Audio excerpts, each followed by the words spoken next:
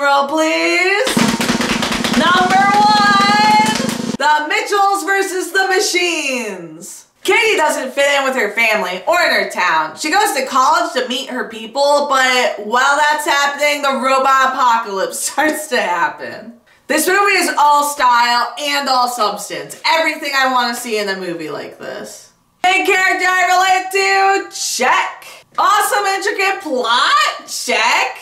Animation style? Triple check. The only thing I don't like about this movie is that it ends eventually. And I know this is a new movie, but it really beats out a bunch of movies that stood the test of time a great Triumph movie, and a great coming of age story. Impossible not to pick as my number one. Alright, if you Um, this was really fun to do. Let me know what top 30 list I should do next November. Alright, nieces and nephews, have a great December, I guess. Whoa. Thanks!